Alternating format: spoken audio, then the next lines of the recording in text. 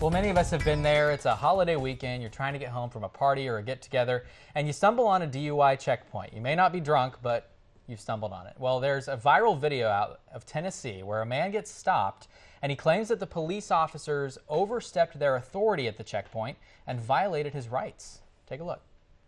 What are you doing for me? Uh, this is fine, sir. Do what? This is fine. That's fine. Yes, sir. Why is that fine? Because I can hear you. How old are you? Uh, is that a required question to answer? Uh, yes, sir, it is. I'm 21. Stay right there for me. Yes, sir. Need you just pull right over the side, right there, right there. Am I being detained? Pull over to the side, right there. Am I being detained or am Pull I free over to to the side, right there. Okay, step on out. Am I, step out. so I'm being detained? Either pull over the other side, or you can step out right here. Put it in park, shut it down. Unlock your door. Sir, am I being detained? Unlock your door.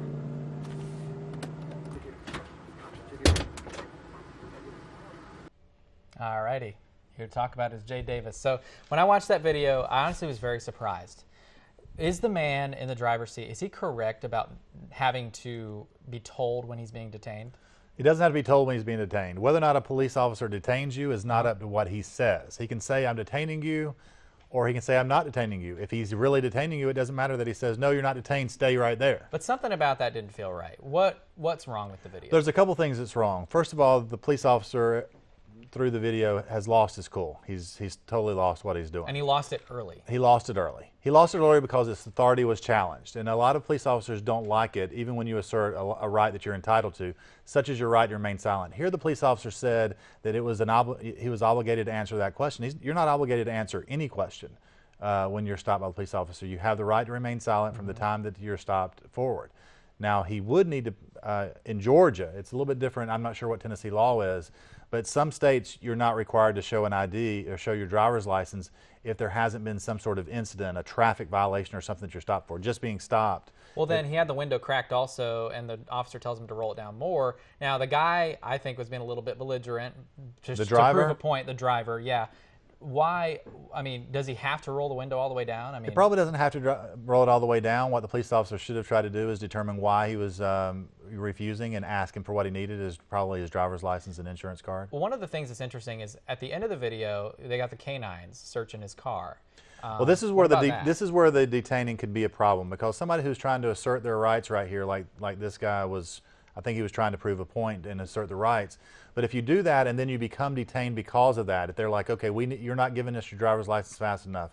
In Tennessee, if he didn't have to, he should have moved on once he was no longer um, deemed to be DUI. It was a DUI checkpoint. They should have been looking for DUI. They either had the authority to get the license or not.